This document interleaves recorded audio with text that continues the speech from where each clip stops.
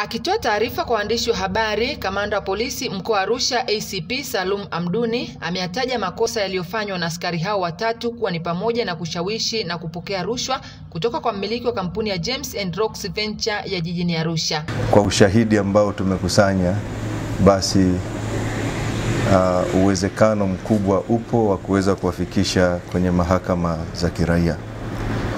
Labda niwakumbushe tu askari hao ni askari namba G 5134 DC Heaven Light Mushi. Huyu alikuwa make is no longer tena askari wa jeshi la polisi, alikuwa akihudumu polisi mkoa wa Kinondoni, kitengo cha intelijensia ya jinai.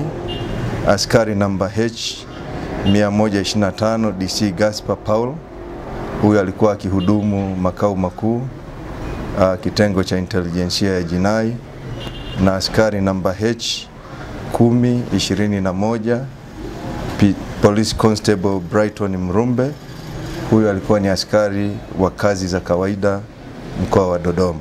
Aidha, kamanda Hamduni amemtaja askari namba F 1445 CPL William John kuwa ni miongoni mwa askari aliyefukuzwa kutokana na kujihusisha na matukio ya kiuhalifu ikiwemo kujiunganishia umeme wa wizi kinyume na sheria pamoja na kupatikana na misokoto ya bangi.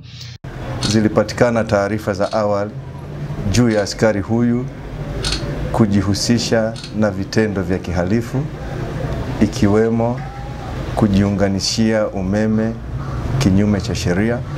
Aliweza kupatikana na misokoto ishirini ya bangi, kupatikana na pombe haramu ya moshi lita tano, kupatikana na vyuma vya mabomba ambavyo vinadhaniwa vimepatikana kinyume cha sheria, mafuta ya diesel lita 85, pombe ya viroba, konyagi auta au tunasema boksi 84 ambazo pombe hizi zilipigwa marufuku na serikali, chupa za konyagi tisa zenye vimiminika.